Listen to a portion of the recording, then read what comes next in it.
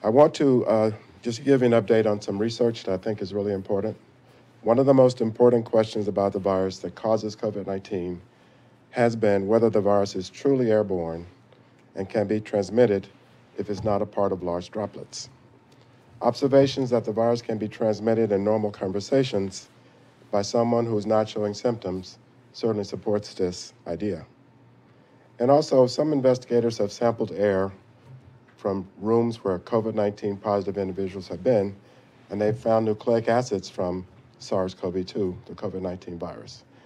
But the PCR test is so sensitive that finding nucleic acids from the virus is not the same as, as identifying virus.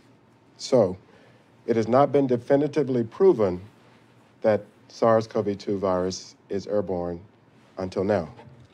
I want to share with you some just released data from a study done by investigators at the University of Florida. They collected air samples from a hospital room that had COVID 19 patients who were not coughing or sneezing. They were in isolation rooms. This room had a fairly sophisticated air handling system. The total air in the room was changed six times per hour or every 10 minutes. The air was triple filtered down to 0.3 microns, about three times the size of a virus particle. The air was also passed through a UV irradiation device to sterilize it. So, after all that, they took the air from the room, they subjected it to two things. They looked for virus nucleic acids. They also asked whether they could culture virus from the air by putting it onto cells that were susceptible to the virus. The answer to both of those questions was yes. And what's really remarkable is whether the air was collected from six feet away or 27 feet away, they were able to find virus in those air samples. So, despite this sophisticated air handling system that included UV irradiation to sterilize it, these investigators were still able to pull virus out of the air. And keep in mind that these individuals were not coughing or sneezing, they're simply in a hospital room that's an isolation room. The implications of this finding are pretty profound. First of all, it indicates that social distancing of six feet is probably not adequate to prevent transmission of the virus, especially indoors when the ventilation is poor or not adequate to move the air along. So, social distancing inside without wearing a mask gives a false sense of security. And this result emphasizes yet again how important it is for all of us, if we're going to beat this pandemic, to wear a mask. I think the evidence is now overwhelming that unless we all wear masks, we're not going to defeat the virus. It could not be more important to do so.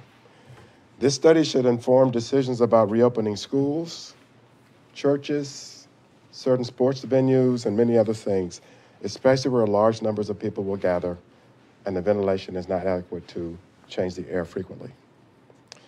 So, if the virus remains in the air in an isolation room in a hospital that changes the air six times per hour, UV irradiates the air, filters the air triple three times, and you can still find virus, what makes us think it's safe to open a school where the ventilation is poor and HVAC systems are outdated and not outmoded. I'll leave you to think about that. Also, if resources are not provided for the teachers and students to have PPE when they need it, whenever they need it, that's also something to think about. I realize these are very stressful times for parents of school-aged children, and it's well understood that the emotional and social well-being of, of children is probably best served by them being in a school. On the other hand, it is now beyond dispute that children can be infected, will be infected, some of them will get sick, and unfortunately, as we know, some of them will also die. And keep in mind, another point I mentioned before, in past pandemics, those who recover from coronaviruses have long-term consequences that go well past the time they recover.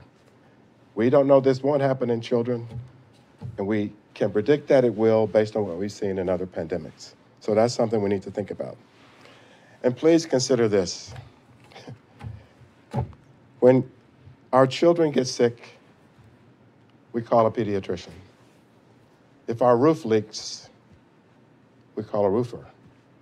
If we're having problems with our teeth, we do not call an auto mechanic.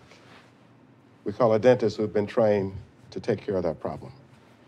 My point is this with all due respect, some of our elected leaders who are pushing to open schools the hardest are the least qualified to know if it's safe to do so. And they're refusing to listen to the public health experts who spent their whole lives and careers studying these things. So, my advice to you as you make the difficult, stressful decisions about whether to have your children in a school, please listen to those who spent their whole lives and careers studying and determining whether or not it would be safe to do so. And I can't emphasize enough, based on what I've just shared with you, how important it is that masks be worn by all of us. Because if we don't do that, the virus is going to continue to win.